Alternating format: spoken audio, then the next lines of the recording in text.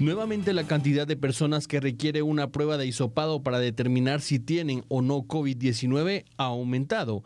A mediados de diciembre los laboratorios móviles en donde realizan hisopados llegaron a atender de 5 a 10 personas por día. Sin embargo, la mañana de este lunes 3 de enero, la fila de personas que esperaban en las afueras del laboratorio móvil ubicado en la colonia El Progreso al final del mercado El Guarda superaba a las 100 personas.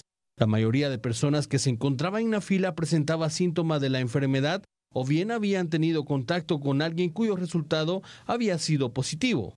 Autoridades de salud manifestaron encontrarse listos para atender a la población que requiera una prueba rápida.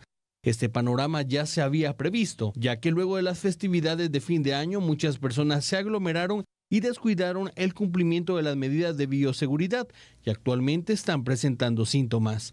Si usted presenta síntomas como tos, fiebre, dolor de cuerpo y malestar en general y considera que es necesario realizarse una prueba, puede acercarse a los laboratorios móviles ubicados al final del Mercado El Guarda en zona 11, la móvil ubicada en Plaza de la Constitución zona 1 y al ingreso de la colonia Atlántida. Además puede asistir a la clínica periférica de la colonia Amparo en zona 7 y la periférica de la colonia El Paraíso en zona 18.